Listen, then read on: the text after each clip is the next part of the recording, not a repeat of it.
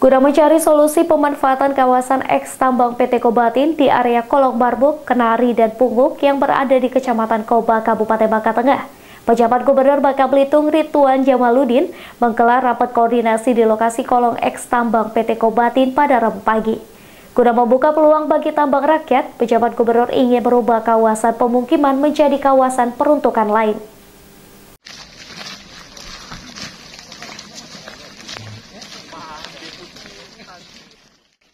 PJ Gubernur Bangka Belitung Ridwan Jamaludin yang juga menjabat sebagai Dirjen Minerba ESDM RI meninjau langsung lokasi kolong marbuk ex wilayah tambang PT Kobatin didampingi Bupati Bangka Tengah Gafri Rahman pada Rabu pagi. Kedatangan pejabat gubernur bersama Direktur Pemanfaatan ATR BPN Republik Indonesia guna mengambil langkah tepat dalam pengelolaan kawasan eks tambang PT Kobatin di Kolong Marbuk, Kenari, dan Punguk. Rapat koordinasi digelar di lokasi eks tambang Kobatin guna mengetahui persis kondisi di lokasi saat ini. Menurut pejabat gubernur, agar membuka peluang bagi tambang rakyat, maka perlu ada perubahan kawasan pemukiman menjadi kawasan peruntukan lain sehingga kawasan ini dapat dimanfaatkan dengan baik, termasuk memanfaatkan kandungan mineral yang terkandung di dalamnya secara legal. Kami mengundang ke memang teman-teman dari ATR BPN untuk membuka peluang agar uh, wilayah yang di dalam RT RW kabupaten dinyatakan sebagai pemukiman dapat kita gunakan tadi tadi kalau bahasa legalnya untuk peruntukan lain. Nah, peruntukan lainnya itu di sini kan timahnya potensinya masih ada.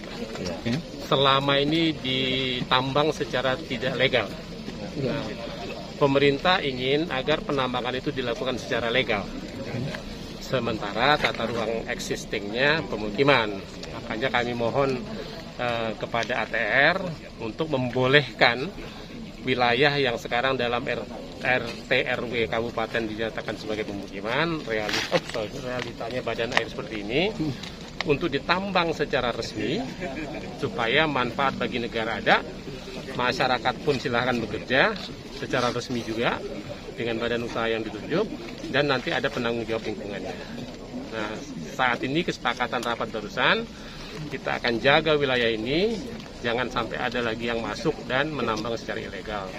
Pak Kapolres ada dan di Mada saya juga selalu koordinasi dengan Kapolda bahwa kita mau jaga wilayah ini agar tidak lagi terjadi penambangan ilegal.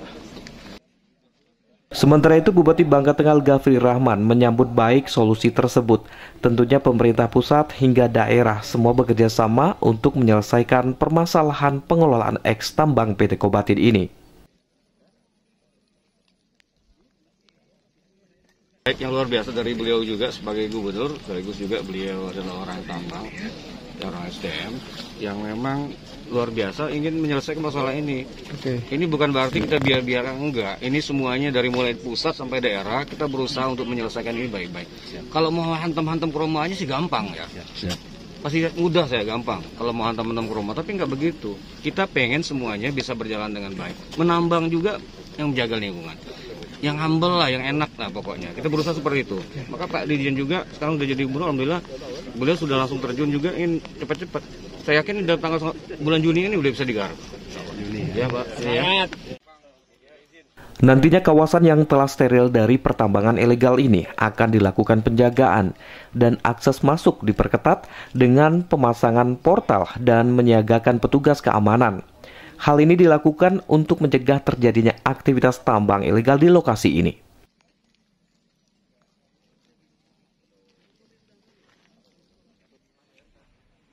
Dari Kabupaten Bangka Tengah, Bangka Belitung, Rahmat Kurniawan, iNews melaporkan.